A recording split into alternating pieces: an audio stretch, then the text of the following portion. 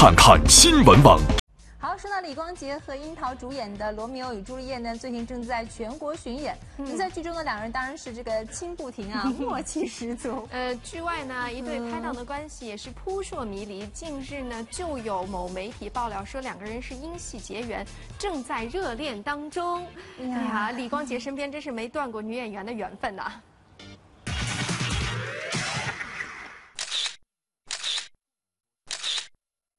照片中，两人刚刚从下榻酒店走出，李光洁轻轻搂住樱桃的肩膀，并时不时低头看着樱桃，表情关切，俨然一副老夫老妻的模样。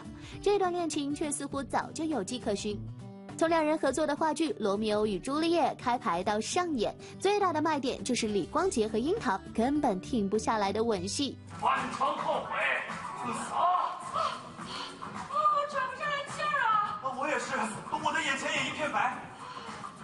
刚才咱俩亲上了吗？啊，不知道。再来。啊。在话剧一开场的二十分钟里，李光洁和樱桃频繁拥抱、激情热吻，更是不下五次。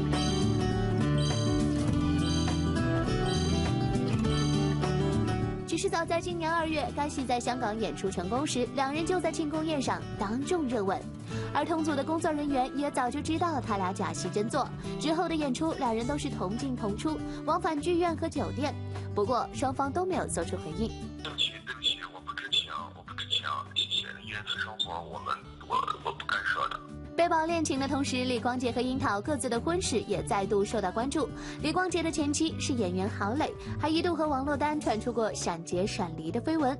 而樱桃在走红前也和圈外人有过一段婚姻，离婚后被曝曾和李小冉的前男友孙东海有过一段情，而孙东海也被认为是宜安坡被砍案的幕后主使。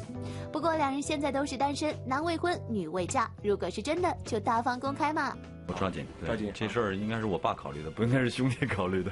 我是托受刚才那对八十岁的长者的委托来问。真的吗？对对对，樱桃不错。娱乐新天地，因戏结缘太正常。编辑报道。